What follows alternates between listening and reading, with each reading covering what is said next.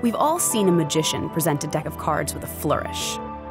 That's just the beginning in the mesmerizing art of cardistry.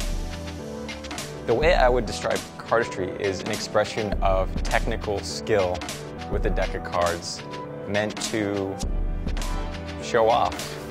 It's juggling with playing cards.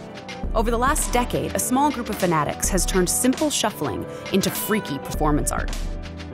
The way the art form has grown just by sharing through social media, YouTube, Instagram, things like that. So we thought it would be an awesome idea for all these amazing artists to get together under one roof and just meet each other and share their passion. Cardists from around the globe recently gathered in Brooklyn to swap tips at the first official cardistry convention. Cardistry has become my life. It's not only fun just for me, but to come up with a new move that like makes my friend in Denmark like impressed, that is why I continue to do cardistry. Cardistry grew out of magicians' flourishes, but today distances itself from sleight of hand. Yeah, card flourishes was always um, sort of like within card magic. It was a way to accent a point.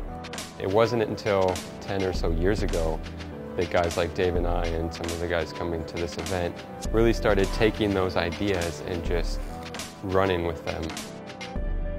These days, what's happening with Instagram especially is that concepts, you know, once they're uh, at a presentable level, can be posted like right away and be viewed by like, you know, people across the globe.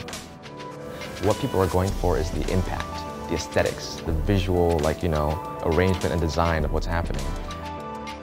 One of my favorite things about cardistry is as long as you have a deck of cards, you can do it anywhere.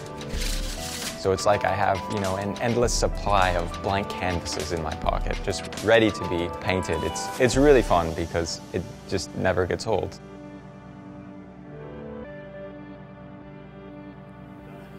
All right.